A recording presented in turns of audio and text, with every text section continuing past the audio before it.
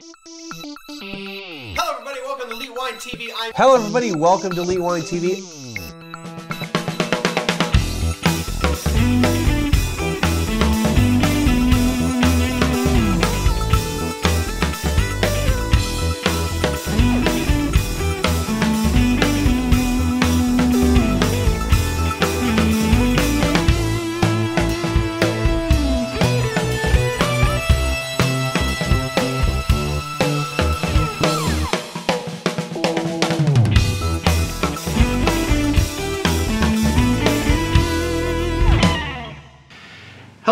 Welcome to Elite Wine TV. I'm your host, Mark Fusk. We're here for another special edition of the show. I'm here with Greg Armini. No, Urmini. I just say right? Urmini. Er- Urmini. See, I was doing so good. Anyway, Greg Urmini uh, with Crossbarn. Uh, now, Crossbarn is a sister label to Paul Hobbs, and we're here on the Paul Hobbs estate. And uh, I just finished doing a, quick little tour of the estate. We um, uh, with Chris and uh, kind of took over the Paul Hobbs history. And um, but we're we're here really for Crossbarn, so we're going to talk about that. But let's since it is Paul Hobbs, uh, since yeah, family. Let's kind of first let's talk about you, how you got into all this, uh, and what do you do with what you do with Crossbarn. But then we can kind of kind of talk about the Paul Hobbs history, and then we can go right into Crossbarn. Sounds good. Okay. Yeah. So a little bit about myself. Uh, born and raised in Sebastopol, where Paul Hobbs and Crossbarn Wineries are both located. Right. Um, just always was interested somewhat in working with my hands as a kid. Um, I had my dad had a fresh pasta shop, so I was always in there with him making pastas on the weekends, um, and always really enjoyed crafting something with my hands. Okay. Uh, so when I found out about the wine uh, program down at Cal Poly and knowing that I wanted to come back into Sonoma County and grow, grow up and uh, live, uh, I just dove right in and kind of took me to this place uh, Okay. after graduation. So in 2007, I got an internship at Paul Hobbs Winery.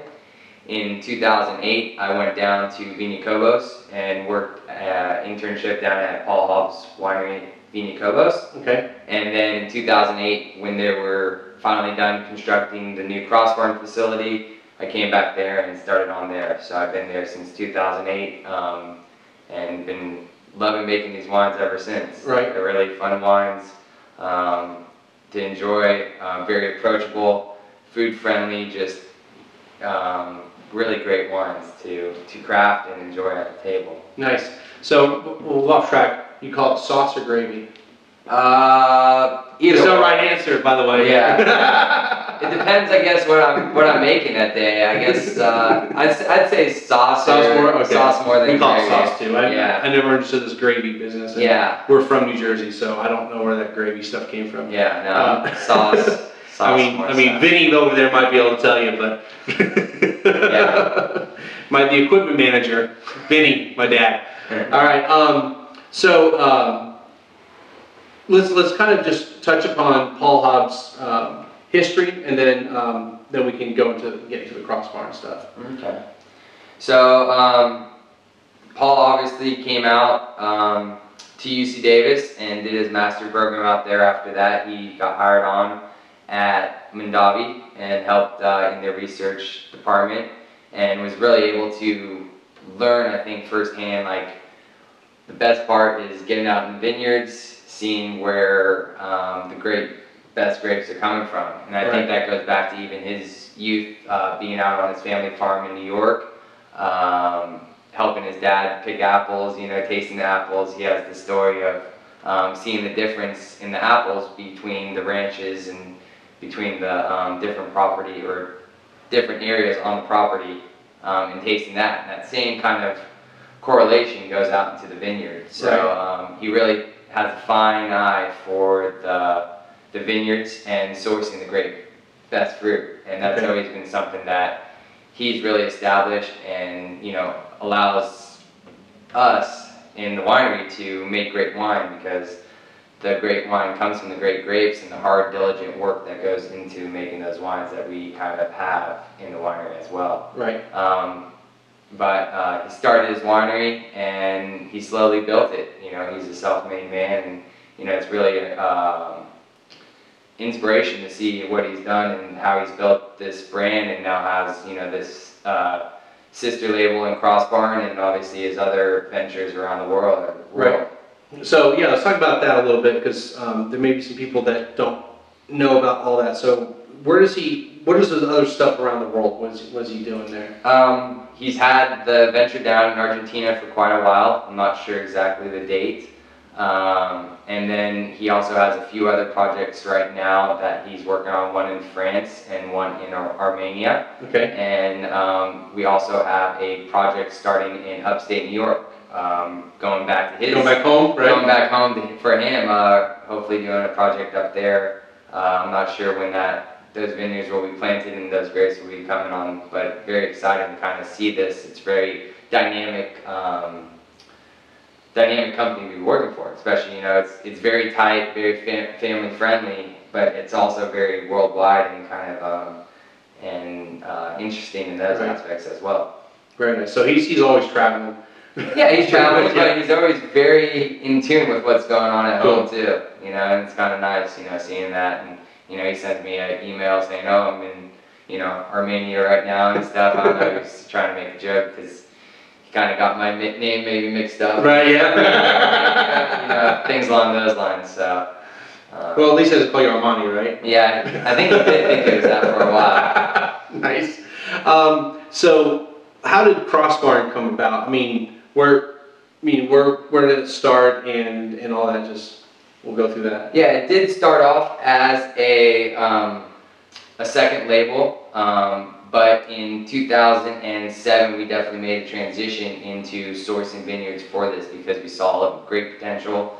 Um, the wines that we were making already were were very um, well received, and so we saw this opportunity to you know start crafting these wines. Um, and so 2007 we slowly started building, um, getting sources for more of these vineyards, um, for more of these varietals. And then in 2008, we built the facility and really started taking it to the next level. So Right. now we have our own vineyards, sources for all three varietals. Um, and they kind of do differ from what we might be looking for in the Paul Hobbs vineyards. Um, Right. You know, the styles that we're going for, you definitely taste them and you see a little bit of difference just in the in the flavors um, versus the Paul Hobbs wines. Right. Um, these are um, very approachable, um, food-friendly wines. Uh, you know, both of our Chardonnay and Pinot are under screw cap, um, so they're you know just take them and go and Right, drink yeah. them on the drink them as you go. You know, wherever you end up. Screw caps are great. I mean, I I personally think they're a great enclosure. They they pretty much prevent anything happening to the wine once it's once it's uh, Though I have heard that there's that infinitesimal chance that something could happen if the, the seal wasn't perfect, but Yeah. I've never experienced that. Yeah, know? but I think I think they're you know a great great enclosure. Yeah. No, So I do too. I, don't poo poo on them. Let's put it that way. It captures the freshness, and both the Chardonnay and Pinot are just very fresh on the palate. Um, really captures the juiciness of the fruit Mhm. and so on and so forth. So, um, you know, I think the closure does play play a role in that. Right, exactly. Um, and then, so the Chard and the um, Pinot Noir, they're, they're, they come from Sonoma fruit. But then, even though the wineries in Sonoma, you have a cab coming from Napa. So, Yeah. why? Um, you know, it's a great privilege to be able to do the Chard and Pinot Noir from Sonoma Mhm. and do a Napa Valley Cab. You know, usually you have to choose one or the other. You know, yeah. if you're in school, you're like, oh, should I go over to date over to Napa and work in that dark side, or come out to Sonoma County and, and uh, enjoy the beauty of Sonoma County. And obviously, growing up in Sebastopol might play a little bit in that. yeah, uh, bias right? But um, you know, I love making Napa Cab though also, so Right. it's a great opportunity to be um, making all three wines at a very high Right. high caliber. Uh, just really enjoy um, the challenges. It's a longer harvest. Um, we're still fermenting the last Cabernets, while a lot of our neighbors here in the area are, are you know closing up for the winter and just kind of Right. easy going. And so um, it does make for a little bit more work, but the reward is that much more sweeter because you know that you're making the three wines and the Napa Cab is always nice to have in your Right. cellar later in the later in the winter. You know, so you can enjoy the, the warmth of the fire on those cooler days that we have out here. Right. And actually doing that it's a little was a little bit of a kind of renegade in, in Sonoma, uh, taking fruit from over there. At least at least at first. Now I'm sure the Yeah. Sonoma's doing it now. I'm sure there are. Um, I don't think Paul ever thought about that, and you know, I, I kind of talked to him. I said, "Why did you choose Sebastopol?" And he's like, "You know, I just felt more at home in Sebastopol, and I, Yeah. I could see that how he would feel more at home here versus Napa." Coming from upstate New York, You know, Yeah. I've never been to upstate New York, but just hearing stories from his family and talking to him a little bit, um, it definitely seems a little bit more community friendly, like it is out here Right. than Napa. Well, I can tell you. I mean, for for the past week we've been in Napa for four days, and today was the first day of actually. And this is my first trip ever to this part of the country. Yeah. Um, first time in, in Sonoma, and there's a definite difference when you look just the geography wise. Whereas Napa was mountains, mountains, and then the valley, and you didn't see a whole. I mean, they exist, but you didn't see a whole lot of hills or on the mountainsides vineyards. Um, at least not from Highway 29 necessarily, or or Silverado. But you, you could. They, I know they existed. hmm Here, there's lots of rolling hills. Yeah. Um, yes, there's, there's some mountain, there's mountains around, but you know, there's definitely lots of rolling hills, and you see, and you even see them up on the on the mountains or the tall hills. Um, so there, there's definitely it looks like you know just a, a difference in, in how um, wines or, or grapes are grown in the area. I think you know Yeah. it's just you don't have like a straight valley basically. Yeah, it's, there's a lot of different microclimates within Sonoma County. So, you know, obviously we have all the different areas just within Sonoma Coast Appellation alone and around the Sebastopol area, um, the West County as we call it. Um, the locals do at least. Um, you know, there's a lot of different, you go out to Forestville, the Graton, Sebastopol, over towards Occidental, you're gonna have completely different wines right. um, from all three sites, and it's all in very close quarters, within maybe 10 to 15 miles of one another.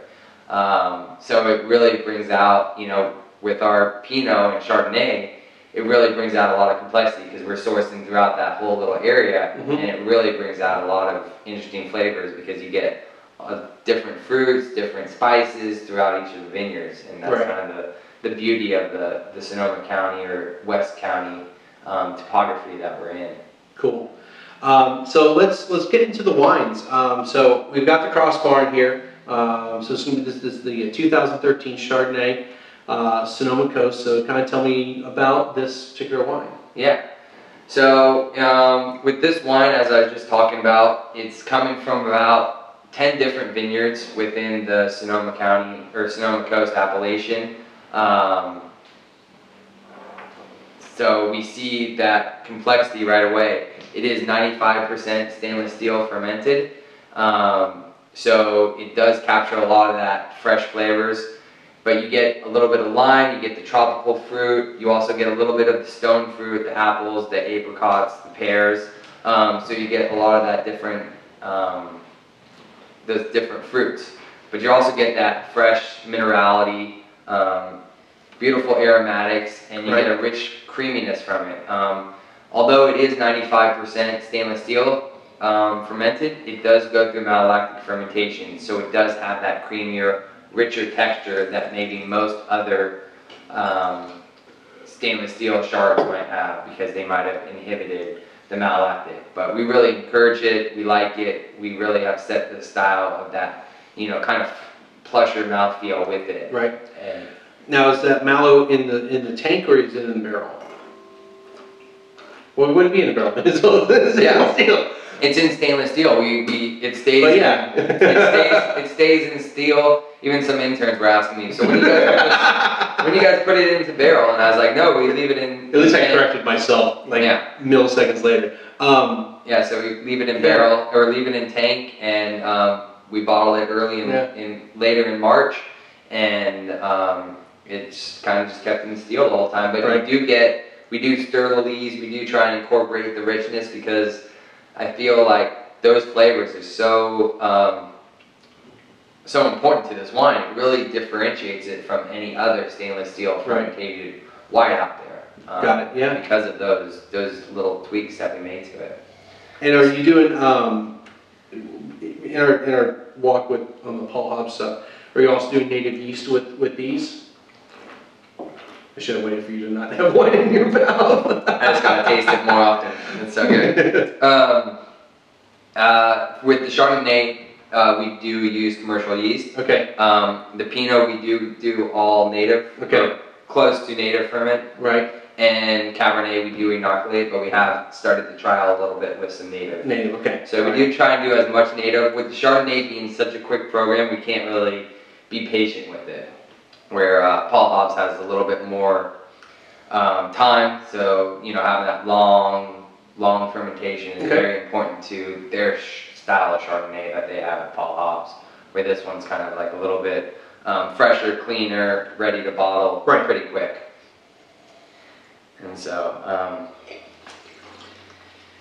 yeah, it's you know a fun wine to make. A lot of people like it. Um, it's it's interesting seeing the difference between the the Paul Hobbs Chardonnays and when we're pouring them for other people when we have a Paul Hobbs Chardonnay versus Crossbarn because it's, it's the biggest difference between the two two wines Okay. between the Chardonnay from Paul Hobbs and the um, Chardonnay from Crossbarn because of the stainless first to barrel fermentation, Right. where the Pinot and Cab are a little bit similar in their styles um, in terms of their aging process and fermentation.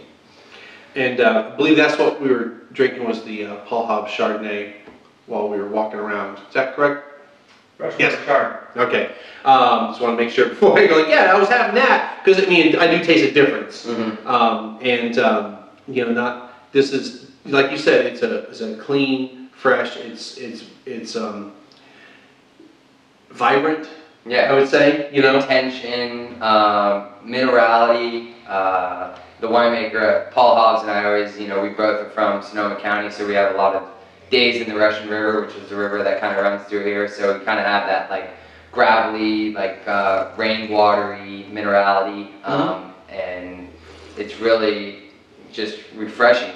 Um, under the screw cap, as I was saying, just capturing that freshness even more so. Right. Um, but having that weight and viscosity that I think takes it to the next level, level, Mhm. and I think that kind of gives it that salivating taste that you Oh, always have. yeah, you my know, it mouth is watering. exactly, it's like just No, you got some- goes. Got some great acid, uh, great flavors there. Um, I definitely, you know, even though it said it goes to it goes to malo, I still get some apples in there, you know, so like more golden apple. But I mean, it's it's a it's a great flavor and a balance of fruit and acid and minerality. Um, Yeah, and that balance is, you know, the food friendly, you know, people out there that are looking for this on the, you know, for, you know, restaurant on the wine list or something along those lines, it's really captivating because it is so food friendly. It's, you know, can go from, you know, pastas to, to even some lighter meat dishes to, Oh, absolutely. you know, some oysters and some fish dishes. So it's, it's very, very, um, diverse in that manner, which is which is fun to have in your repertoire. Yeah, I mean this this is a wine that you know this is a beautiful day. It's been it's been gorgeous all week in the area. Mm-hmm. Um, but if we were sitting outside, I would have no problem drinking this on its own. But with food, I think it would just it would just enhance it quite a bit. Yeah. Um, and you know, all week I've had many wines that you know some of them I felt were you really need food, and other wines are like this, or you can drink it by itself or, or have it with food. But this is definitely a wine that um, if I had some food, I think it would it would even be more outstanding. Yeah. It's already a great wine, I think. So Yeah. um, I'm very I'm enjoying it quite a bit. Yeah, and of course, you know, these being a friendlier price point on the dollar than the Paul Hobbs. They're great um, values. Then well, this is a great value you so far. Millennial, you know, the Right. millennials, the younger generation, my generation, my friends and fam, my friends mostly are like, oh, these wines are, you know, great, you know, anytime I bring them around, and they don't have to even be in the wine industry, they just kind of taste them, Right. they're easy to drink, and they just can have them with food or on the wine list. Right. It's kind of neat seeing it, it expand over how it has over the last uh, Yeah, these seven years. So like these are more uh, these wines you definitely are targeting the by the glass programs and restaurants out there because they're they're good they're good Yes. value their their the price point's good for for by the glass. I mean, Yeah. not be um, it's not something that you're gonna just have to have by the bottle. So I mean I've, I've seen it on I've seen it on lists and, and the price points are extremely good. So I Mhm. mean it's it's a good value for for the for the um, Yeah. for restaurant. Yeah, and as I said, in wine shops and stuff, we're really starting to see one of my friends in New York. Um, he's like, I just keep on seeing Crossbarn at all the different, you know, uh, wine shops, and I'm like, yeah, we're, we're doing pretty well. We're making some good wines and getting them out there, and he's just, you know, it's pretty uh, impressive when I start hearing feedback from my friends throughout the country or you know, family that I've been seeing the Crossbarn wines in their local markets. You Right. Know? So it's, it's Very nice. very fun.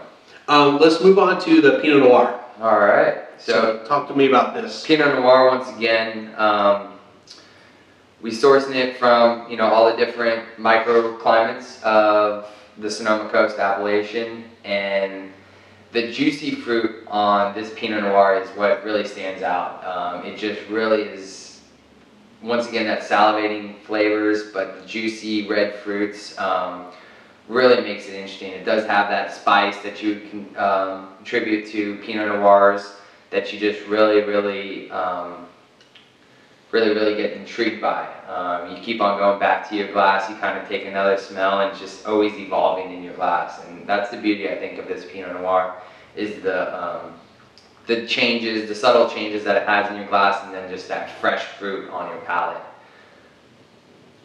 Um, and with this uh, native fermentation, uh, very gentle fermentation process with the punch downs that we have, and you know it's aged in oak for 10 months and bottled after that. So we were very gentle throughout the um, process, really letting the fruit speak for itself. Uh, only 10% new oak on this. Okay. So once again, letting the fruit speak for itself. We're getting great fruit sources. That's what Paul and his company's kind of built upon. You know, sourcing out the best quality of fruit. And so we, with this, we just kind of let it speak for itself instead of you know throwing in too much new oak to kind of take away from those great fruit fruit, fruit attributes. Well, it's definitely uh, you know uh, fruit, uh, a fruit forward. I'm not gonna call it fruit forward, but definitely a good amount of fruit with with this Pinot Noir. Um, again, fresh, um, young. Um, on on the aroma, you know, there's um, some minerality on, on, on the nose. Yeah, You know, there's like some spices type of thing. You know. Yeah, there's good spice, um, different spices. You know, you kind of got the um, baking spices or, or winter spices, Yeah. and you also have some of the um, kind of herbal components, some of the teas that you think. Like um, I sometimes get like a hibiscus tea or kind of a, a, a white tea with it. Um, there's almost kind of almost a white pepper also element sometimes. So those those cooler climate aspects that you get from the Sonoma coast um, kind of do stand out in this with the fruit that might be coming from different sources. And the nice thing about what I get to do is, you know, I'm tasting through all the barrels and you see the differences. So you're going, okay, this has that juicy red raspberry fruit. Right, And you yeah. have this one that has that spicy um, white pepper attribute. And then once we put the blend together and we see what it's like in tank, it's just like, oh, this Right. is this is phenomenal. You know, and this is the beauty of kind of creating those blends and the Appellation wines for uh, for Crossbarn. So how long does it take you to figure out your blends for, for these wines? Um, doesn't take too long. Okay. You know, now that we've kind of we've started dialing it in, you know, uh, being with working with the vineyards for so many years now, um, really helps. Mhm. Uh, knowing what the quality of fruit will come in year after year. So when we go to put the blends together, we kind of know what to expect, and we know where what things we're gonna look for and what things we aren't, and we know that these wines that we're going for are gonna be those um, have good fruit, good spice, um, you know, just overall a balanced wine. Right. And you really get that in this this glass. You know, you brought the white pepper, and I really key in on that. Yeah, it's it's fun because it does change throughout the time it's in glass, like Mhm. most wines, but even more so with this because it just has those nuances that you kind of just put your nose into and you kind of just see how it changes and you just want to figure out what that next element to the wine will be. You're totally right because when I first put my nose in there, it was a lot of fruit, a little bit of minerality, and now it's you know just now there's a lot of white pepper. Um, even on the palate, you know, white pepper is really coming through now. This fruit's still there, so I mean, I'll be interested to when we move on to come back to it and probably even come back to the Chardonnay just for you know quick you know quick Mhm. little uh, taste there. But um, this is another really good Pinot Noir. Um, you know, Pinot Noirs are they're they're not my absolute top favorite, but I appreciate them. Okay, so if I'm telling you I like this Pinot Noir, it means it's pretty good. Okay, I mean, um, I had a bad experience way, way, way before I got into wine with Pinot Noir, so I just I wrote them off real early in my wine wine Yeah. life, and then that's because I was drinking bad Pinot Noir. Yeah. And now I've now being in the industry for as long as I have, now I'm actually starting to drink quality Pinot Noir. So now I'm understanding what Pinot Noir is supposed to be and how it tastes. So now I'm becoming uh, more appreciative of it. So when I find good Pinot Noir, I'm like, oh, this is good. I like this. Yeah. And this is Yeah. one of those. So Yeah. just, just to let you know, if I'm saying it's good, it means it it it it it, it, it uh, went over a couple hurdles for me internally that I'm like, okay, I like this. This is something I could buy. That's scary. Okay. Yeah, once again, it's easy on the wallet, you know. It's, Even better, right. You know, it's not gonna break the bank like you know some other Pinots might do for you these days. So, Yeah. Um, it's nice once again just being able to enjoy it on a on a casual Wednesday night or on a special occasion. This wine's always ready to drink, and it's always drinking well, which is which is fun. Um, and you always know what to expect. As I said, under the screw cap, you kind Right. of have a, a secure closure, and you just know every time you're going to be popping one, it's going to have that fresh fruit, and those spices are going to just kind of start to develop as the Right. glass kind of sits in there. The other night we were at one of the restaurants and I bought a Pinot because I thought it was gonna be the best common, you know, best, best wine to pair with what the two entrees were. And I kind of wish I had this one Mhm. instead. Not that the other one was bad, it wasn't, but I think this was more to my liking Yeah. than, than the other one. Um, but Yeah. yeah, really nice.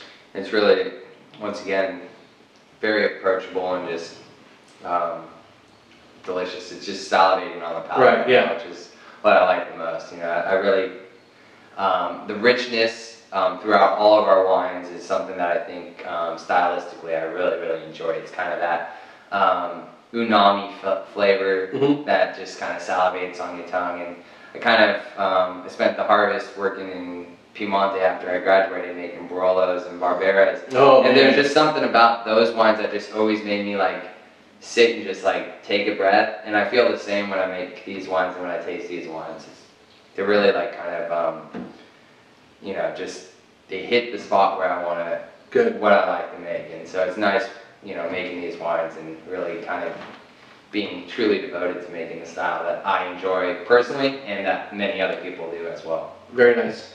All right, let's, uh, let's go to the cab. Okay. So we got a 2012 cab here from Napa. Yeah. So. Kind of talk to me about this one.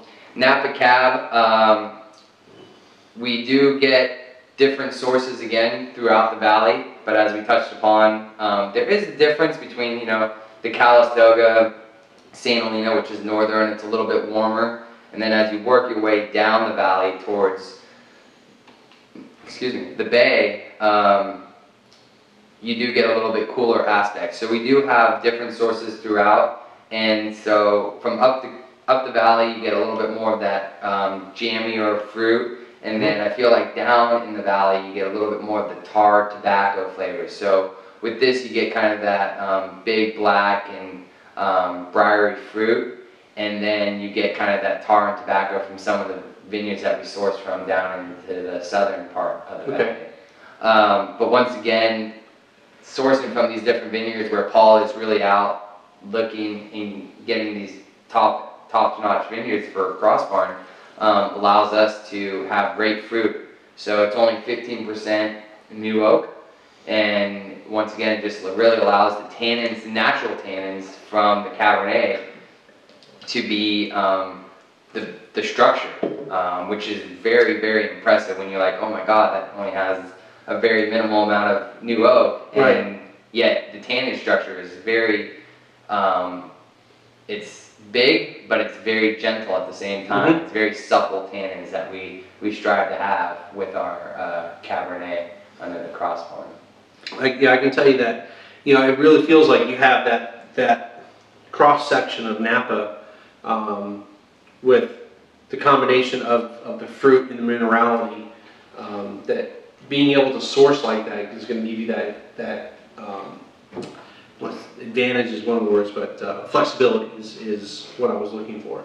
Um, gives that flexibility to, to really, I guess, probably play with, um, how you want to put, blend all those together too, right? Yeah, no, it definitely allows us to see which aspects we like, and when we put the blends together, it, it really allows us to dial it in and really get a great, um, great product to put into the bottle. Um, and as I really enjoy from, you know, making Napa cabs, um, they're a lot, they're a lot of work. Oh, people obviously say, you know, Pinot Noirs, they're a lot of work in the vineyards and so on. Pinots are, once they're fermented, you know, they're very minimal winemaking needed during the aging process. We're Cabernets, we're racking them every three to four months. Um, so we're taking it out of the barrels and putting it in the tank to clean it up, to freshen it up, to really help that um, supple tannin structure that we're, we're, we have with our wines. Um, and so, just because the later harvest with the Cabernet and the more work that we do, the longer aging process of 18 months in oak for the bottle aging or for the um, aging of it Mhm. before we put it in the bottle, um, really makes it um, a little bit more challenging. But once again, when you have a great product to have at the end of the day and you have a Cabernet in your lineup, it's, Right. a, it's a nice, uh, nice addition. Right, exactly. Uh, this one, I definitely, definitely need to have some food with this. I mean, uh, the tannins are great, um, but it would definitely work better with, with some food there. You know, a good steak or whatever, you know, a good pot roast. You know, something savory would be would be outstanding, especially Yeah. get that fruit. You know, I, I can even see this as uh, a Thanksgiving wine because you've got that fruit quality to it. Yeah. Um, as long as the turkey was nice and juicy. Yeah. You know? Yeah, I think so. I usually have a bottle of Crossbarn during There you Thanksgiving. go, right? Even the Pinot Noir. I mean, Yeah, no, but one of I probably have all three at, during Thanksgiving, but um, and the holidays are just all three of them. No matter what uh, aunt, uncle, or grandparent or cousin might Right. want, you kind of have everything here that they're gonna enjoy. And that's kind Exactly. of the it's kind of a nice thing about all of them. If you don't like one particularly, you're gonna probably have another one that you really really enjoy. So. Uh, Well, let's make a little more timely since this is a January episode. um, you could, um, I could see this as a Valentine's Day wine. Yeah, How about that? This is uh, our 2012 too, so it was bottled uh, June of 2014, so it's been in bottle for um, five months now, Right. roughly, Okay. and we'll be we'll be aging nicely over a nice next you know 10 years. And I've opened up some of our 2008 wines, and they're still showing very nicely. So the ageability on them is really nice, but um, the approachability right now is is very, very um, good to see as well. It's really nice. I mean, I like the structure of it. I think it's balanced. Um, got some great tannin in there, and um, a great, great food wine, really, from what I can tell. Mhm. And um, you know, it's it's nice. And again, price point wise, these these are wines.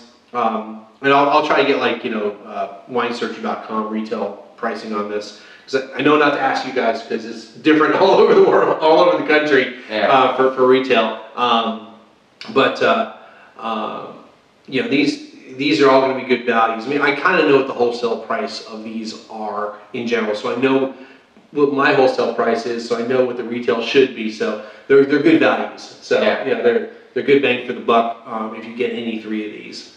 yeah. But um, yeah, A lot of wine for the price, as I like say. exactly. You know, and you know, like, like you said, it's it's not a um, it's not a second label; it's a sister Mhm. label. Um, but you know, I think you know you've got something here that's you've got you've got the um, reputation of quality with, with Paul Hobbs, Yeah. and you're able to replicate that with um, a, a, a wine that's at a, a, a lower price point, lower price point.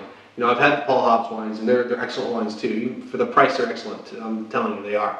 You see them anywhere, but you know, these these are awesome wines too. Yeah, and that's kind of what you know we pride ourselves on throughout the whole the whole company is just quality. You know, um, the sourcing of the vineyards, the attention to detail, the quality that really um, allows us to put all of our hardest efforts into these these bottles of wine to share with everybody. Um, and it starts with Paul himself. You know, he's out there, um, kind of the leader, working hard and getting us the best fruit and and showing us the ways of making the best wine. And it's it's nice to have that leadership. Um, Megan, who is the director of winemaking, she also is shares those same values and and myself and it works around the whole team, the production team, the vineyard team, um, the sales and marketing team all have that same um, same values, um, which is nice, you know. So we really get to, you know, um, enjoy the products that we work so hard for. How's that Pinot changing? Yeah, I'm just going back to the wines now. It's not, it's not, it's not a white pepper explosion anymore. So Yeah. we're getting back to a little more. Actually, it's it's it's still minerality. So there's a little bit of fruit. The white pepper isn't as prominent. Um, it's a little more brambly. Okay. So um, I like that word because when you say it has woodsiness to it, you start you, people thinking it's it's the oak. It's an oak barrel thing, um, and it's not. It's there's a quality to it. So I mean, it has been, it has been changing in the 36 minutes we've been talking, okay, plus the five minutes prior to we poured it. So I mean, it's been, it's been changing over that period of time, and it's, it's really nice to see that. Yeah, it's nice because you know, obviously, growing up here in Sebastopol, my dad had a little orchard, and we had probably all the different fruits. You know, the apples, the pears, the apricots, the berries, from blue, black, red, everything on our property. So as a kid, I remember tasting all those different fruits, and he also had an herb garden, and so you know, all the different herbs that we had. You know, from sage, lavender, uh, oregano, thyme you know, all of them. Uh, you know, it's really interesting seeing them now and the flavors that you get, and obviously different wines, and like remembering those smells and those flavors as a kid, and kind of contributing those Right. to like the different wines that we make nowadays. So that must, really, actually, that, that alone from your childhood really, I'm gonna, I'm going to guess, kind of gave you a little bit of a, a one-up on other people that were in, in the business, because they may not have grown up with that. Yeah, you know, it was a nice, nice, uh, you know, I guess start into my wine Yeah, wine life, um, and it just really uh, allowed me to kind of really enjoy. Um, I mean, working with my hands, smelling the Mhm. beauty of a really ripe piece of fruit. You know, Right. um, we're fortunate. You know, we have a lot of great fruit and you know um, produce out in this area, and so Right. we really get to enjoy the freshest, um, freshest of what uh, Mother Earth gives us. And this is kind of one of those things as well with the grapes that we have. very nice. Well, one, I know you have something to do. Two, because we had the lights on super bright to try to combat the backlight, that light's gone out. This was probably gonna go out soon, so we're gonna go and wrap things up. Um, I really appreciate you uh, spending some time with me, Yeah. uh, going over these great wines. Um, Absolutely. Folks, if you see Crossbarn out there in the store or at a restaurant, or just, you know, go to the Crossbarn site, um, and, uh, you can get it there, I'm sure, I mean, I'm sure there's a few. Yeah, we always have them available on the website, um, crossbarn.com, and Right. that's the beauty of also Crossbarn is that they're always readily available for you, um, whether you have it in your local market or um, purchase it online. Right, and, and is the, uh, is the winery also open to the public? Um, unfortunately, no, but they could always come uh, to the Paul Hobbs Winery and Okay. take a tour there and try the Crossbarn wine Got during Okay. that time. And just so you know about Paul Hobbs, uh, call, make an appointment, it's not just, uh, you know, just show up and say hi. Um, and, uh, and I, that's my suggestion, this is the end of, of, of my week here, and, um, I've been lucky enough, not, besides the fact that I had appointments for all these, um, other wineries I visited outside of interview stuff, pretty much, um, some of them you really need to make sure you have an appointment. Um, others, you can just walk up and it's an open tasting room and all that. But um, definitely, you know, I would say before you come out, plan ahead, um, check out their websites of, of any winery and to see if they have a tasting room hours. If not, if not, make the appointment. Um, for the most part, they're, you know, unless there's some super premium exclusive cult wine, they're probably going to say, yeah, come on in. So um, at least that was my experience um, with that. So, but anyway, uh, we're gonna wrap things up. Uh, as always, everybody, I want to thank you for stopping by. Um, I'm gonna uh, have a link below to uh, the Crossbarn Winery, and we'll also put Paul Hobbs down there, that way you can kind of uh, get uh, get all the information there. Um, click the links above to friend me up. Again, I'm not pointing over to Greg. I'm just pointing where the PayPal button is over here. So if you want to send a few uh, ducats my way, uh, please do. And uh, we'll see everyone again